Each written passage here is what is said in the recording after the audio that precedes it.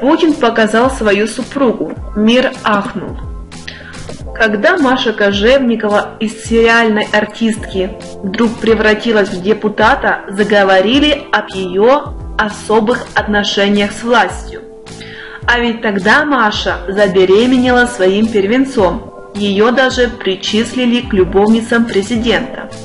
Но потом все же решили, что это место занято Алиной Кабаевой. Но тем не менее отношения с властью у Марии очень сильные, о чем свидетельствуют не только ее достижения в политике, но и успехи в кино. Все же роль глуповатой алочки из универа вряд ли раскрыли в ней таланты актрисы. Да и в фильмах она явно не блистала. А сейчас Маша – звезда фильма «Батальон». И хотя роль у нее там не главная и не самая большая, но именно она украшает афиши этого фильма.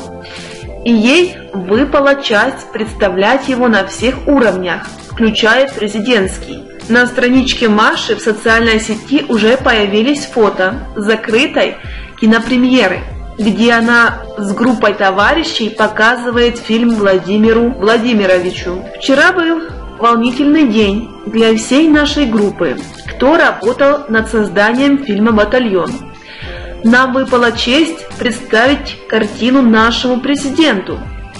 Эти несколько секунд от окончания фильма до того момента, как мы услышали аплодисменты, и Владимир Владимирович произнес свою оценку в адрес фильма, показались вечностью.